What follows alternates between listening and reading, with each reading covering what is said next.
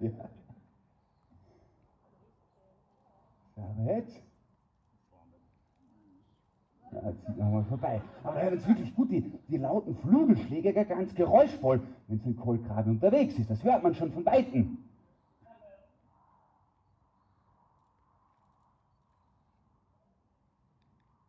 Ja, Beispiel dafür, wir richten uns immer nach dem Verhalten der Vögel. Bei uns gibt es ja kein fixes Programm, aber jetzt super Punktlandung, perfekt gemacht. Und vielen Dank für den Applaus. Wir Falkner, wir freuen uns über, äh, den Applaus, wenn es Ihnen gefällt. Also das Hilfsmittel in der Falknerei, um so einen Vogel ganz ruhig und stressfrei transportieren zu können. Und da hat es auch schon ganz entspannt Platz genommen, völlig ausgeruht ist er übergestiegen. Noch einmal erleichtert, gell, dann fliegt sich's angenehmer, mit weniger Gebühr und Geschwindigkeit aufzubauen. Und der Pascal ist noch ganz ein junger Wanderfalke, ganz, ganz junger Wanderfalke, mit dem sind wir dann noch im Aufbautraining. Das zeigen wir dem Publikum aber sehr gerne, wie die Arbeit eicher Flieger zu werden. Und in der Natur sind Wanderfalken reine Vogeljäger, die ausschließlich Jagd auf anderes Flugwild machen. Und um in der Falknerei seinen Wanderfalken naturnah zu beschäftigen und zu trainieren, gibt es das Federspiel, das ist die Beuteattrappe, die der Lukas da schon vorbereitet hat und durch die Luft schwingt. Das symbolisiert einen flüchtenden Beutevogel. Und der Pascal, der ist da gerade dabei, seinen eigenen Jagdstil zu entwickeln. Das gehört da zum Aufbautraining dazu, dass man dieses Jagdtraining da durchführt. Ja, und das ist auch wirklich schon im Jagdmodus unterwegs, stürzt sich da herunter aufs Federspiel Falken sind sehr selektive Jäger. Wenn die in einen Vogelschwarm hineinstoßen, die erkennen sofort, welcher Beutevogel alt oder krank ist oder geschwächt und der wird bejagt. Und die Taktik ist dabei, die Beute müde zu fliegen, immer wieder anzugreifen, so lange zu attackieren, bis die erschöpft ist. Falken sind ausdauernde Jäger, richtige Langstreckenflieger, die haben sehr viel Kondition, die die Beute immer wieder angreifen und so lange verfolgen, bis die erschöpft ist. steigt wieder auf, bringt sich eine gute Position. Atemberaubend, wie er da herunterstürzt. Den Schwung nimmt er gleich wieder mit.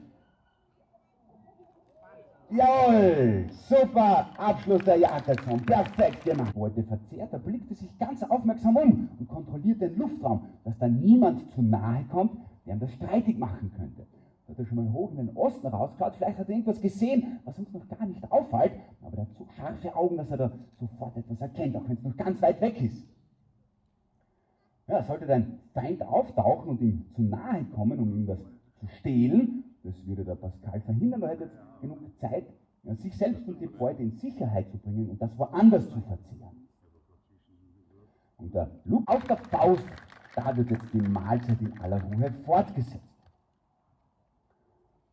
Und weil das jetzt einwandfrei geklappt hat, möchten wir Ihnen den Pascal noch aus nächster Nähe zeigen, dass Sie sich seinen jungen Wanderfalken einmal ganz genau anschauen können, von oben bis unten. Alle unterhalb der Augen, den Backenbart, ein dunkler Streifen, der sich da quer übers Gesicht zieht, bis zum Hals.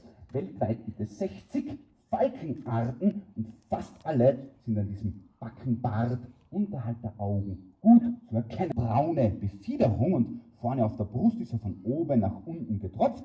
Das ist das Jugendfederkleid der Wanderfalken. Adulte Wanderfalken, die sind ganz, äh, ganz grau befiedert, anthrazitgrau und vorne auf der Brust Quetur, wenn sich eine Eule im Revier umblickt.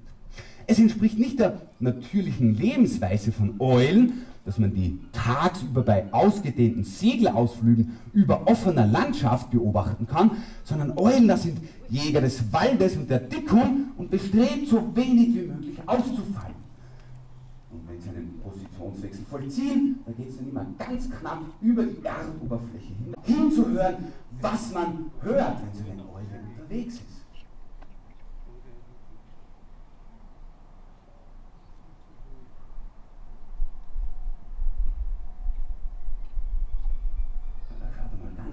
aufmerksam Richtung Nordosten. Vielleicht ist mir etwas aufgefallen, was, uns noch, was wir noch nicht sehen.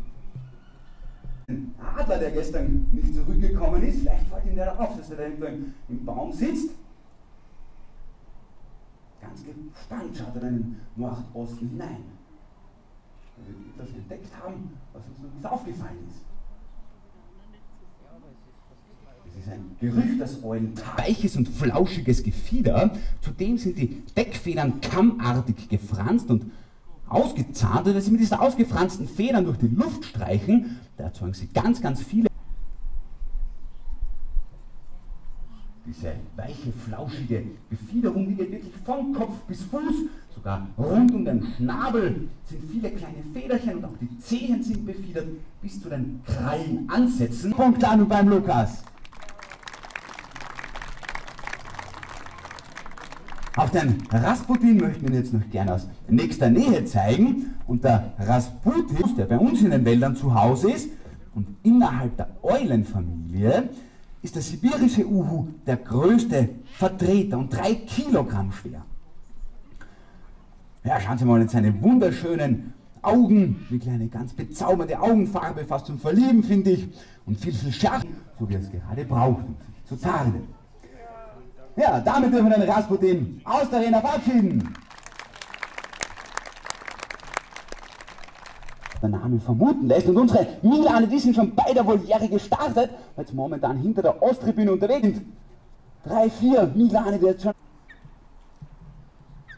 Wir haben eine gute Thermik, die äh, Sonnenstrahlen hier wärmt die Luft, warme Luft dehnt sich aus, wird leichter, steigt nach oben und das nutzen äh, die Vögel gerne aus und der ganze Energiesparende eine perfekte Segelwetterlage ist und auch der Adler, der da aufgetaucht ist, ist der Arthur nämlich, der ist gestern nicht zurückgekommen. Er ist jetzt wieder aufgetaucht. Ich vermute, er hat die Milane gesehen, hat sich gedacht, aha, das ist was los. Milane zeigen ein, dass es eine gute Segelthermik ist, dass die hoch oben sind. Denkt er sich, diese einfachen Segelflugbedingungen, das kann er auch ausnützen und sehen, wie er sich da reingestürzt hat. Der Steinadler, das ist ein Grifftöter, der die Beute erlegt mit einem festen Griff in den Fängen. Dabei entwickelt er eine Druckkraft, die viermal so stark ist wie die menschliche Druckkraft und die Hinterklaue ist zehn hinter der Tribüne unterwegs sind. Das sind mögliche Beutekonkurrenten, mit denen möchte er die Beute auf keinen Fall teilen. Also wie verteidigt er bis zum Schluss? Sollte dann zweiter Stein und auch in der Natur kommt es immer wieder dazu, dass sich Steinadler gegenseitig sehr, sehr schwer verletzen, wenn sie sich um die Beute streiten und dann Sühne sagen. Wirklich gut aufpassen. so große Stücke schlucken. Da kann ich schon.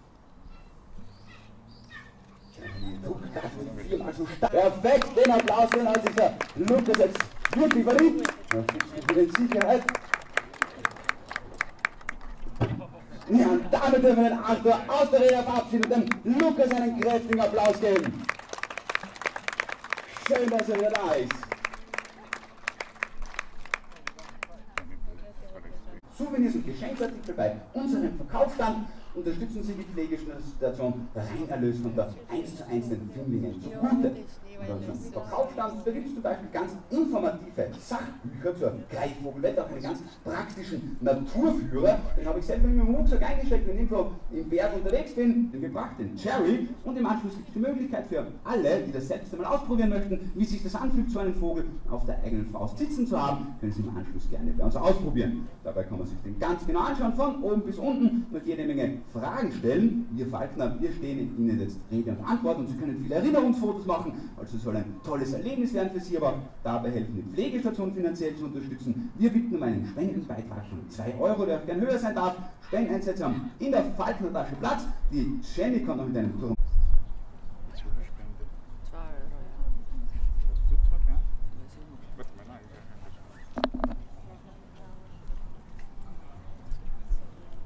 Ja, Hand auf die linke Hand. Keine Angst. Ich weiß nicht.